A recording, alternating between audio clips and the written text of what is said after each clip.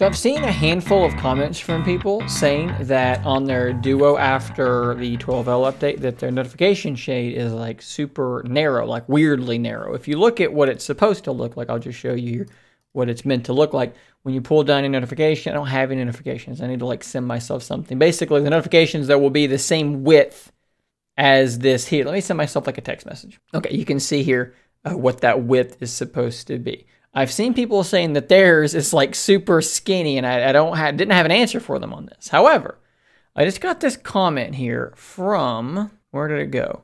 Randy Johnson. I'm assuming not the baseball player, who said that apparently this is something to. I cannot highlight this text for anything. We're just gonna have to roll with it. He says for anyone that has the narrow pull down notification issue, check to see what your font and display settings are at. Large works for both. If you go to the largest it will wreck your notification pull down.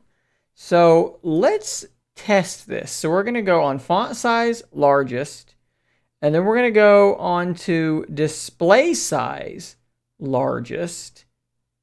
And let's see. There we go. It has actually screwed up my my casting. Hold on. You can't see what I just saw. Let's try this again. There we go.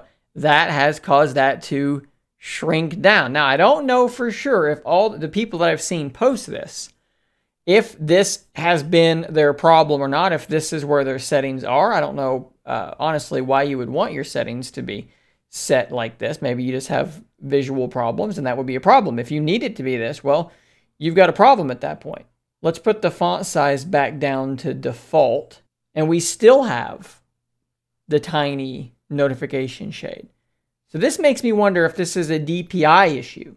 Here's what I would suggest. If you have this issue, go into these settings under display, font and display size, and I've wrecked it again, and put them back at default.